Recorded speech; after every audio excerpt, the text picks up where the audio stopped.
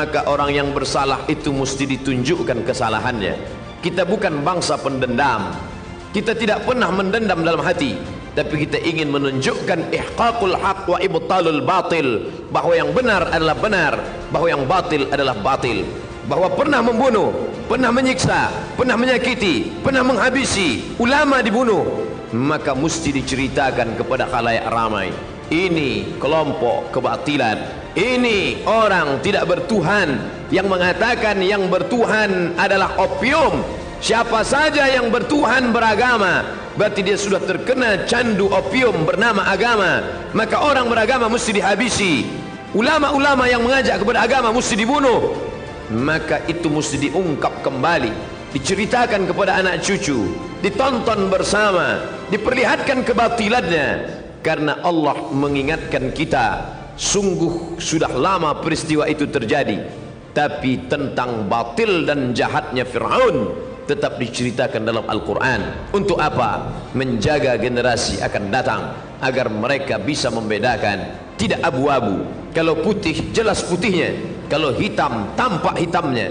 Karena yang abu-abu itu tidak membawa kepada kebaikan. Tidak bisa pro kiri dan kanan kalau kau ingin masuk surga pilih ke kanan. Kalau kau siap masuk neraka pilih ke kiri. Semua ada resikonya. Maka kita mesti menampakkan kebatilan sebagaimana Allah memperlihatkan jahatnya Fir'aun. Diingat sepanjang masa. Padahal dia sudah ditenggelamkan ribuan tahun yang lalu. Laut Merah menjadi saksi bisu. Kenapa masih diulang juga setiap tahun? Ini menunjukkan orang Islam mesti ingat. Fadzakir, ingat-ingatlah. Inna fa'atiz zikra. Karena peringatan itu bermanfaat bagi orang yang beriman. Fadzakir, berilah peringatan. Fa inna zikra tamfa'ul mu'minin. Karena memberikan peringatan bermanfaat bagi orang-orang yang beriman. Tunjukkan orang batil itu batil. Tampakkan orang yang salah itu salah jangan sampai diikuti jejaknya selamatkan generasi yang akan datang sebagaimana Nabi sallallahu alaihi wasallam menceritakan tentang kisah Firaun bersama Musa alaihi salam. Al-yawma hari ini nunajjika kami selamatkan engkau bibadanika dengan badanmu tidak mati dimakan cacing tanah.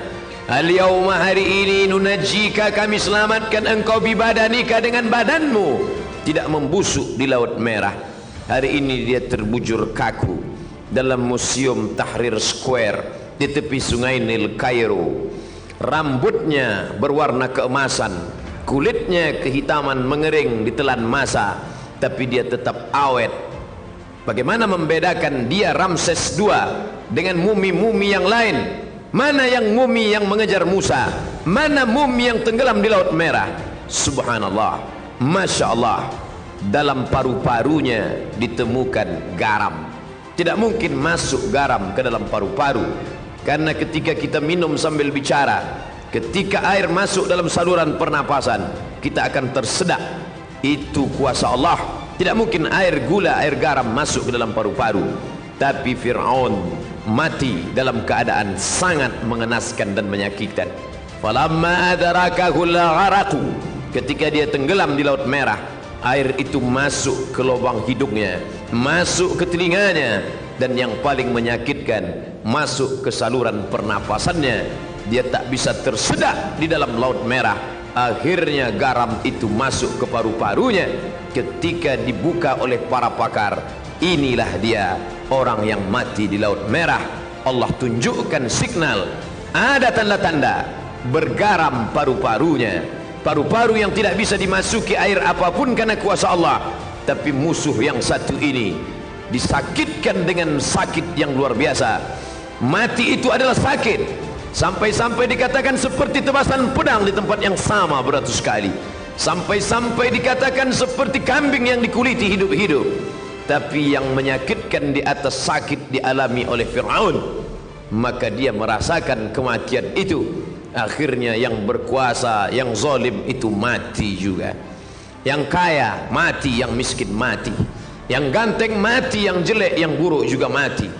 Yang pernah berkuasa sehebat Firaun hari ini tegak kekuasaannya dalam bentuk piramid. Satu di antara tujuh keajaiban dunia. Sampai saat ini tak terpecahkan bagaimana menyusun batu-batu besar yang beratnya mencapai 2 ton tapi bisa dibangun dengan simetris ada tiga lubang makam di dalam. Bahkan ada yang ketika saat tertentu masuk cahaya matahari ruang yang gelap dalam piramid terang benderang. Sungguh mereka pernah hidup dalam masa kejayaan. Tiang-tiangnya yang besar mereka tidak membuat cor mereka tidak membuat tiang dari semen tapi bukit yang mereka pahat. Wa tanhituna minal jibali buyuta. Ada di antara mereka yang sanggup memahat bukit menjadi rumah Prancis tertarik melihat tiang yang besar itu. Mereka bawa kapal membawa tiang besar dari Mesir menuju Paris Prancis sampai hari ini mereka tegakkan di tengah kota Paris. Apa maknanya? Generasi belakangan tertarik dengan peninggalan-peninggalan Fir'aun. Tapi itu semua hanya sebagai saksi sejarah bahawa orang yang zalim berkuasa itu pada akhirnya mati. Ibrahim meninggal Namruz mati. Musa meninggal dunia. Fir'aun mati. Isa diangkat oleh Allah ke tempat kemuliaan. Herodes pendeta-pendeta Yahudi yang bersekongkol dengan tentara Romawi mati. Muhammad sallallahu alaihi wasallam meninggal dalam husnul khatimah. Fir'aun Abu Jahal Abu Lahab semuanya juga mati. Harimau mati meninggalkan belang gajah mati meninggalkan gading. Manusia mati meninggalkan nama nama yang baik atau nama yang buruk. Goreskanlah dengan tinta emas. Bukan karena ingin dikenang sepanjang masa tapi hanya ingin agar ketika nama-nama orang baik masuk ke dalam surga yang dijanjikan Allah. Wasiqal ladzina taqau ilal jannati zumara. Ketika orang-orang bertakwa itu digiring masuk ke dalam surga Allah sampaikan salam untuk mereka malaikat membacakan salam itu salamun qawlam min rabbir rahim. Selamat untuk kalian. Bukan dari presiden bukan dari gubernur. Min rabbir rahim. Dari Rabb yang maha pengasih lagi maha penyayang. Saat itu mereka diundang dengan undangan kebaikan. Dengan undangan kelembutan. Ya ayyatuhan nafsul mutmainnah wahai jiwa yang tenang irji'i kembalilah. Hari ini kau berada di perantauan sampai masanya kembali ke kampung halaman.